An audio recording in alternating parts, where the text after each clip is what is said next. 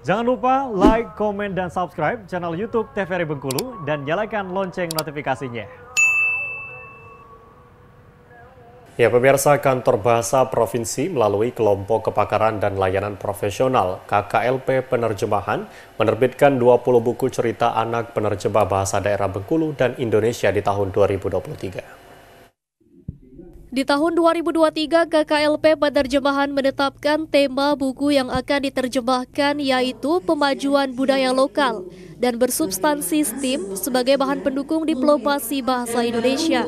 Kepala Kantor Bahasa Provinsi Bengkulu, Dwi Laili Sukmawati di Bengkulu menjelaskan tujuan penerbitan 20 buku ini sebagai sarana sosialisasi dan untuk mengampanyekan kegiatan literasi di Bengkulu serta sebagai wujud nyata konsistensi kantor bahasa Bengkulu dalam penyediaan bahan bacaan literasi dan sebagai upaya pelestarian bahasa daerah melalui produk penerjemahan berbahasa daerah di wilayah Provinsi Bengkulu.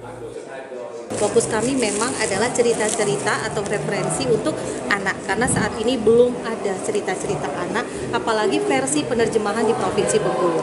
Jadi kami bisa memastikan bahwa produk dari kantor bahasa ini merupakan produk satu-satunya cerita anak versi bahasa daerah ke dalam bahasa Indonesia.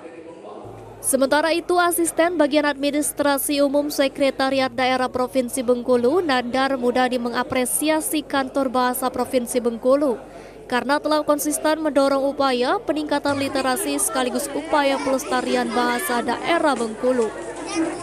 Selanjutnya 20 buku cerita anak akan didistribusikan ke seluruh perpustakaan yang ada di Provinsi Bengkulu.